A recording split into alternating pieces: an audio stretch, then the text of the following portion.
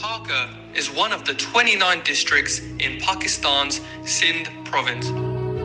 It is the largest district in Sindh and unfortunately also the least developed with a low human development index of 0.227. Historically, Tharparkar has been known to be heavily neglected by both local dynasties and the British Raj which has played a subsequent role in the extremely poor living conditions in the area. Tharparkar's terrain is mostly desert with a tropical desert climate and a very sparse vegetation. It is spread over 9,638 kilometers squared and has a population of 1.6 million people and a very low population density of 83 individuals per square kilometer only. The tumultuous temperatures make life very difficult for the locals, even in the winter with an average temperature of 9 degrees Celsius at night and 28 degrees Celsius during the day. Moreover, Tharparkar is accustomed to fluctuating rainfall levels. The highest rainfall recorded since 1997 is 1,306 millimeters, but also has a rainfall as low as 100 millimeters in a year. This leads to uncertainty for the locals as they are always suffering from unreliable agriculture, leaving Tharparkar constantly battling famine. Hence why officials have declared Tharparkar to be drought stricken 17 times since 1960s. Local population is majority rural with only 4% living in urban areas. Tharparkar's economy relies heavily on agriculture. However, as previously stated, the reliability of this is fickle due to the constant state of drought.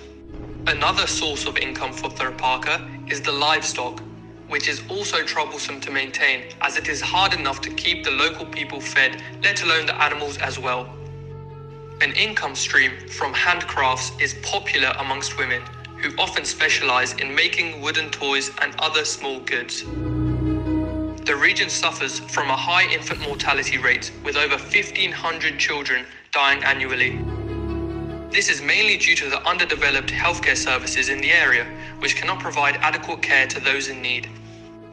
In 2019, efforts were made to strengthen and modernize the healthcare services.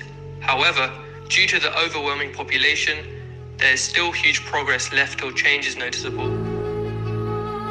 There is a long list of problems faced by the locals, amongst which are the majority of residents having no formal legal entitlement to their property, the administration of inadequate and bad healthcare, and also water contamination and poor education.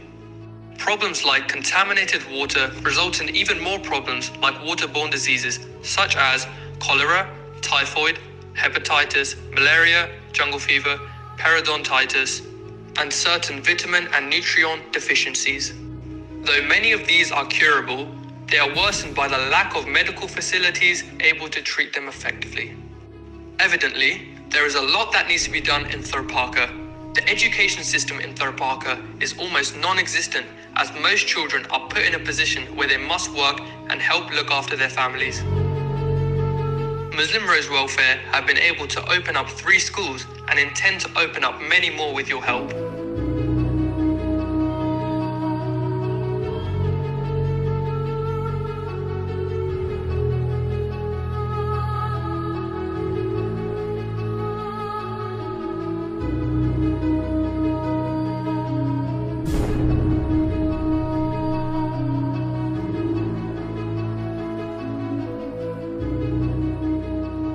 Planning to open medical facilities to serve the locals and install several hand pumps and water wells to provide fresh and safe water.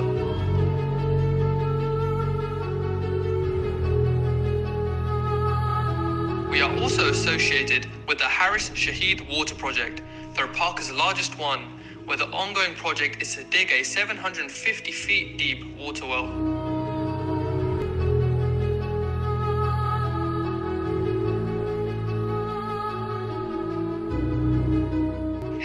Each other is truly what makes us human. And Muslim Rose Welfare are confident in humanity that we can come together to truly better the lives of those in Tharparkar as they so desperately need it. Your small donation can go a long way in helping us provide schooling and water facilities. we humbly request you to donate graciously to the project. Many thanks to Ilford Islamic Centre London for their ongoing support to Muslim Rose welfare projects in Tharparkar Desert, Pakistan.